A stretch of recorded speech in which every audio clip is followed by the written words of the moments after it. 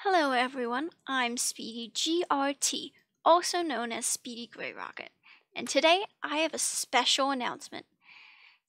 I my special announcement is that I have started streaming on Twitch.